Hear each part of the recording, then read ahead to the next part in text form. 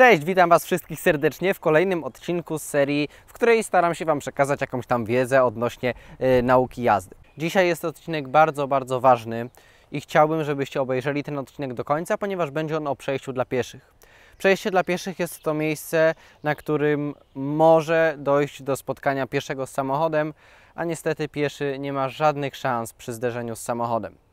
Wydaje się to dziwne, jak można kogoś na przejściu dla pieszych potrącić, ale dzisiaj pokażę Wam kilka takich różnych sytuacji, przy których możemy jakiś tam drobny błąd popełnić, który może kosztować kogoś życie. Dlatego mam nadzieję, że po tym odcinku będziecie świadomymi kierowcami i żaden z Was nigdy takiego błędu nie popełni. Także zapraszam serdecznie. Słuchajcie, na to czy my zahamujemy i czy my uderzymy w coś lub kogoś, wpływa kilka czynników. Między innymi droga hamowania, która fizycznie jest potrzebna i zależy od między innymi od prędkości samochodu oraz nasz czas reakcji. Czyli jeżeli my czegoś nie widzimy i to nam się pojawi z nienacka, mm, no to często nie będziemy w stanie w ogóle, nie, nie zdążymy w ogóle zareagować. Także bardzo istotne na drodze jest to, abyśmy my widzieli, co się dzieje. I teraz zabiorę Was na takie dwa przejścia, mm, na których dosyć problematyczne jest dostrzeżenie pieszego, który potencjalnie może na to przejście wejść. Podczas jazdy samochodem, a w szczególności przy dojeżdżaniu do przejść dla pieszych, musimy mieć jedno takie zdanie w głowie cały czas. Mianowicie, jeżeli nie widzę, to nie jadę. Nie może być absolutnie takiej sytuacji, w której my wjeżdżamy na przejście dla pieszych, ale w sumie to nie jesteśmy do końca pewni, czy na pewno tam nikogo nie ma. Jeżeli ja nie jestem pewien, jeżeli ja nie widzę, czy nikogo nie ma na przejściu, bądź czy też nikogo nie ma przy przejściu, tak żeby za chwilę mógł wbiec na to przejście, to zwalniamy albo się zatrzymujemy, jeżeli jest taka potrzeba, i dopiero kiedy jesteśmy naprawdę pewni, że nikogo tam nie ma, możemy na to przejście wjechać. Niestety, ale w Poznaniu była już taka sytuacja, że dziecko zostało na przejściu zabite przez kierującą, która tłumaczyła się tym, że promienie słoneczne ją oślepiały i po prostu nic nie widziała. No nie może być absolutnie takiej sytuacji. Jesteśmy teraz w Swarzędzu i pokażę Wam trzy przejścia dla pieszych, właściwie dwa przejścia dla pieszych, e, przy których no, jest konieczność zwolnienia prawie że do zera, z tego względu, że infrastruktura zasłania nam to przejście dla pieszych. Dobra, wjeżdżamy teraz na rondo i uważnie patrzcie, jak są skonstruowane przejścia dla pieszych oraz ogrodzenie. Dodam tylko, że jest to miejsce, w którym porusza się bardzo dużo dzieci. Dobra, zjadę tym zjazdem. I teraz spójrzcie, ja nie widzę, czy nikogo tu nie ma, więc ja się ustawiam w taki sposób i dopiero kiedy jestem pewien, że nikt mi na to przejście nie wbiegnie, że dziecko na rowerku mi nie wjedzie szybciutko na to przejście, to dopiero wtedy mogę jechać. Jeżeli z prędkością nawet 20 na godzinę, która wydaje nam się niska, wjechałbym na takie przejście i nie zauważył dziecka, które wyjeżdża na rowerku, no mogłoby być nieprzyjemnie. Właściwie na tej samej drodze mamy drugie przejście dla pieszych. Spójrzcie, jest ono tutaj i samochód, który jest zaparkowany bardzo blisko, ponieważ może być tutaj zaparkowany, bo jest parking, powoduje, że za niego nagle może się wyłonić nam jakiś pieszy. I tutaj akurat była to BMK 1, nie jest to duży samochód, był przeszklony, ale na tym przejściu dla pieszych również parkują czasami samochody dostawcze, busy. I niestety w takich sytuacjach konieczne jest praktycznie zatrzymanie się, no bo fizycznie nie ma możliwości, żebym ja widział, czy ktokolwiek stoi przy tym przejściu, a chciałbym Wam tylko przypomnieć, że od niedawna musimy pieszemu ustąpić pierwszeństwa w momencie wchodzenia na to przejście. Ja mam takie pytanie. Ilu znacie kierowców, którzy zatrzymują się, ale podkreślam, zatrzymują się do zera przy zielonej strzałce do warunkowego skrętu w prawo? Ja osobiście na ulicach nie widuję takich kierowców i również niewielu takich znam. Jest to bardzo, bardzo ważne, abyśmy się do zera zatrzymali przed taką strzałką. Znam tą sytuację z autopsji, ponieważ sam prawie zostałem potrącony przez kierowcę, który właśnie nie zatrzymał się na takiej strzałce. Często myślimy, że jeżeli mamy tą strzałkę, oznacza, że mamy zielone. Nie! My mamy czerwone. Czerwone oznacza, że nie możemy wjechać, ale pod warunkiem, że pieszy żaden nie wchodzi na przejście, jeżeli jest to przed przejściem dla pieszych i nikt nam e, nie koliduje na naszej trasie przejazdu, to my możemy na to skrzyżowanie wjechać. Teraz dojeżdżam do świateł. No, niestety sytuacja się tak ułożyła, że żadnych samochodów nie ma, ale gdyby na lewym pasie stały samochody, to one mi zasłaniają przejście. I nawet jeżeli ja miałbym zieloną strzałeczkę, ale bym się nie zatrzymał, to fizycznie nie wiedziałbym, czy nikogo na przejściu nie ma. Dlatego tak istotne jest, aby się na tej strzałeczce, która właśnie się zapaliła, zatrzymać rozejrzeć się, czy nikogo na przejściu nie ma i dopiero wtedy możemy wjechać. Oczywiście, jeżeli również upewnimy się, czy w żadnym innym kierunku yy, nikt nam tej drogi nie zajedzie. Światła jest to ogólnie takie miejsce, na którym my się czujemy bardzo bezpiecznie. Wydaje nam się, że jeżeli mamy zielone, no to wtedy dzida możemy jechać i już na nic nie patrzeć. Ale musicie pamiętać, że mamy takie dwa rodzaje świateł.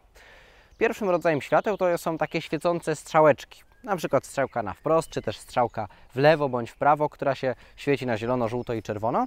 I są to takie światła, mm, które faktycznie informują nas o tym, że my mamy tutaj bezwzględne pierwszeństwo i nie ma żadnej jakiejś kolidującej trasy z naszą trasą przejazdu.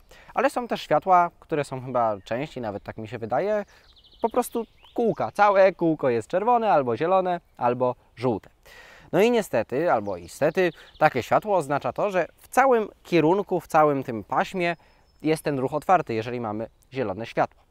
Więc jeżeli my jedziemy na wprost i wzdłuż nas jest przejście dla pieszych, my mamy takie okrągłe zielone, to piesi również będą takie zielone mieli. Y, są też takie sytuacje, przy których na przykład my mamy światła, ale już piesi, którzy mają przejście z prawej strony, tych świateł nie mają. Także teraz Wam właśnie taką sytuację zaprezentuję. Ważne jest to, abyśmy wiedzieli, jak będzie nasza trasa wyglądała. Spójrzcie teraz na to, co tutaj się dzieje. Wiem, że ja na tamtych światłach będę skręcał w prawo. I co ja już widzę? Że wzdłuż jezdni ciągnie się droga rowerowa, po której nawiasem mówiąc jest bardzo dużo rowerzystów oraz pieszych. Ja będę miał zielone światło, ale to wcale nie oznacza, że ktokolwiek z pieszych albo rowerzystów się zatrzyma. Po pierwsze z tego względu, że mamy tutaj takie światła, które puszczają nam ruch w całym kierunku, więc jeżeli piesi mieliby światła, to również mieliby zielone. A po drugie, tutaj nie ma świateł, więc pieszy zawsze ma prawo wjechać mi na to przejście dla pieszych. Dlatego już wcześniej muszę patrzeć w lusterko i upewnić się, czy nikogo nie ma. Teraz daję kierunkowskaz. No i już widzę, że pani na rolkach tutaj sobie jedzie, więc ja panią przepuszczę grzecznie. No i istotne jest to, abyśmy, dobra, pani nam wjechała tutaj przed nas. Istotne jest to, abyśmy przede wszystkim patrzyli na to, czy nie ma żadnego rowerzysty, który pędzi i może się nam wydawać, że o Jezu, on to tam jest i jest i ze spokojem zdążymy, a tak naprawdę za chwilę znajdzie się na naszej masce. Miałem zielone, ale to jeszcze nic nie oznacza.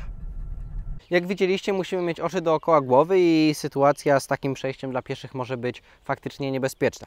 Oczywiście, jeżeli przejście dla pieszych przecina tą drogę, którą mamy przed światłami, czyli jest pod kątem prostym, jakby do naszej drogi i my mamy zielone, to wtedy ci piesi będą mieli czerwone. Ja mówię o sytuacji, kiedy przejście dla pieszych jest równolegle do naszej drogi. Dobra, zaczęliśmy w miarę lajtowo, choć były to niesamowicie istotne informacje. Ale teraz przejdziemy do czegoś, co no, dla mnie jest trochę niewyobrażalne, że nadal na polskich drogach się dzieje. Mianowicie wyprzedzanie na przejściu dla pieszych. Bardzo, ale to bardzo, bardzo niebezpieczny manewr. Naprawdę. I czym jest wyprzedzanie? Wyprzedzanie jest wtedy, jeżeli jakiś samochód jedzie obok nas i my jedziemy szybciej niż ten samochód. Często kierowcy uważają inaczej, myślą, że muszą tam zjechać na jakiś przeciwny pas ruchu, pod prąd jechać, coś takiego. Nie, wystarczy, że my jedziemy szybciej niż samochód z naszej prawej bądź lewej strony. I najgorszą sytuacją, no chyba jedną z najniebezpieczniejszych na drodze, jaką kierowca może stworzyć, to jest to, jeżeli kierowca obok nas zatrzyma się przed przejściem dla pieszych, no i wtedy pieszy, który nie musi mieć prawa jazdy, wy pamiętajcie o tym, że pieszy wcale nie musi tych przepisów znać i wychodźcie raczej z takiego założenia, lepiej z takiego założenia wyjść. Zatrzymujemy się przed przejściem dla pieszych, więc pieszy radośnie mówi fantastycznie, kierowca się zatrzymał, więc ja wchodzę. I co się nagle wydarza? I w momencie, kiedy on wchodzi na przejście dla pieszych, z lewej, tudzież tam z prawej strony tego samochodu, wjeżdża rozpędzone auto na to przejście dla pieszych. No naprawdę koszmarna sytuacja. Także nie możemy wyprzedzać samochodu, który stoi przy przejściu dla pieszych absolutnie i który jedzie przed przejściem dla pieszych również. Jest to po prostu zakazane i bardzo niebezpieczne.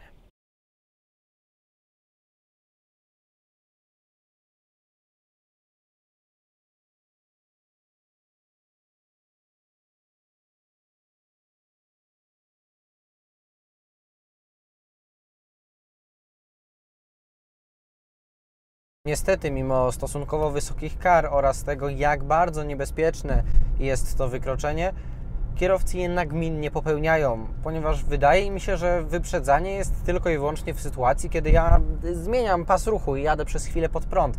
Absolutnie jest to nieprawda. Słuchajcie, teraz pokażę Wam e, przejście dla pieszych, e, na którym dosyć często jeżdżę i ostatnio właśnie taka sytuacja, czyli wyprzedzanie e, miało miejsce. Spójrzcie, mamy tutaj ograniczenie do 40 informacji o przejściu dla pieszych. Nie bez potrzeby to ograniczenie jest. Zwalniamy do 40, oczywiście większość kierowców to ignoruje.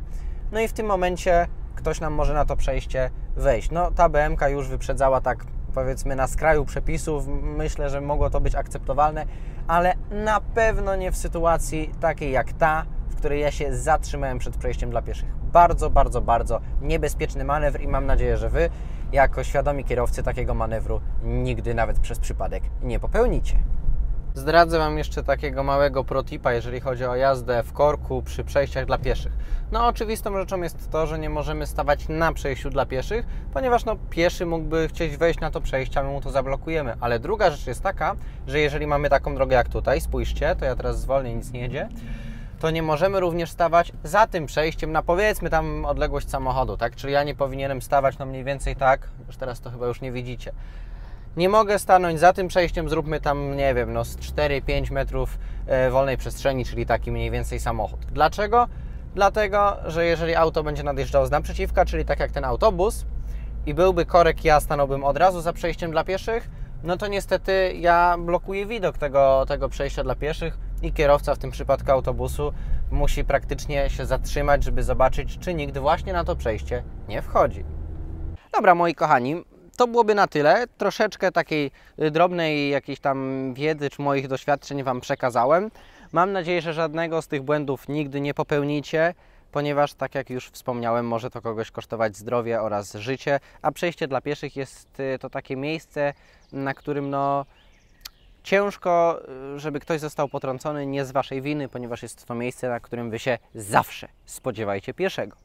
Zawsze wychodźcie z założenia, że on tutaj może wbiec, wejść, dziecko na rowerku, cokolwiek, cokolwiek, cokolwiek. Bardzo serdecznie dziękuję, że obejrzeliście ten film do końca. Jeżeli Wam się podobał, no to tam oczywiście są te kciuki w górę, subskrypcje. Na moim kanale jest również wiele innych filmów z tej serii, jeżeli ktoś tutaj przyszedł pierwszy raz.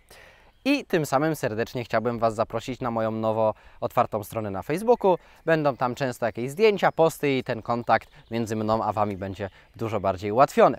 Także jeszcze raz serdecznie dziękuję. Ja nazywam się Szymon Wosiek i do zobaczenia w następnym filmie. Cześć!